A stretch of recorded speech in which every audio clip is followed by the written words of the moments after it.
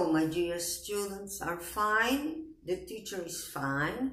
E vamos dar continuidade para acabar a Unit 3, que hoje vai passar os deveres.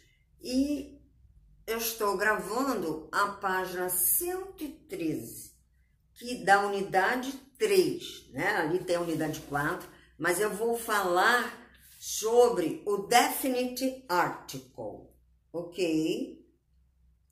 Bom, é, definite article é o nosso famoso the, the, the. A língua é entre os dentes. The, the.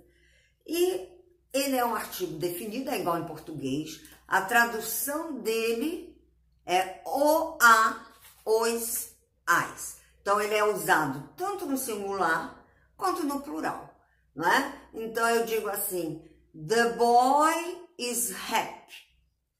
O menino está feliz. Aí eu digo, the table is yellow. A mesa é amarela. Então, isso é um artigo definido. Tanto faz eu dizer também, the books are on the table, né? Essa famosa frase. The books are on the table. Então, ele é usado antes de substantivos. Pode ser no singular ou no plural. E ele é o definido, né? Que define o, a, os, as. Bom, aí ele diz que é antes de substantivos que podem não ser precedidos de adjetivos. Precedidos é o que vem antes, né?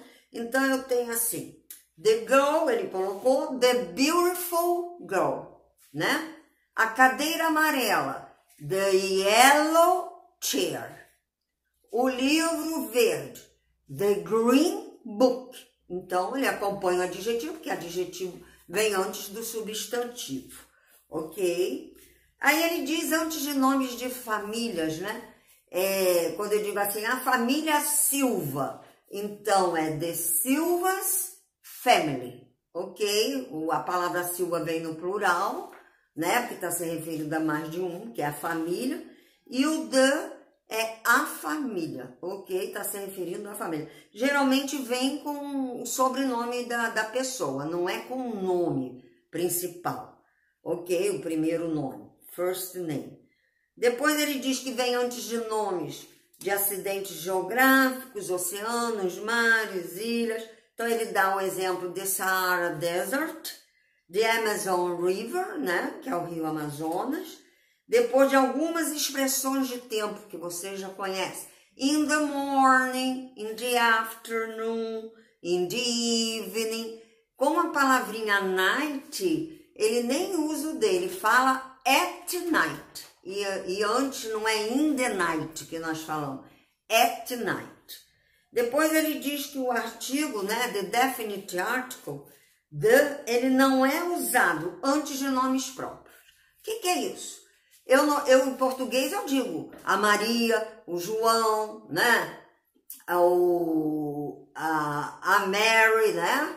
Que eu digo, o, o Pedro, o é, Peter. Mas em inglês não se coloca o artigo na frente de nomes próprios, ok? Bom, antes de nomes de línguas, disciplinas, refeições, esportes, ruas e partes do corpo. English, né?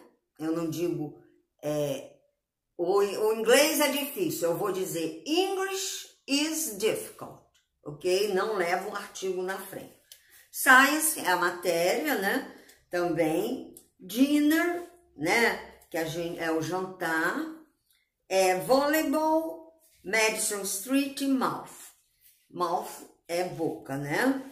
Então, é, ele não é usado antes das palavras, ok? Dessas palavras. Porque eu digo assim, I play volleyball, né? Eu jogo voleibol.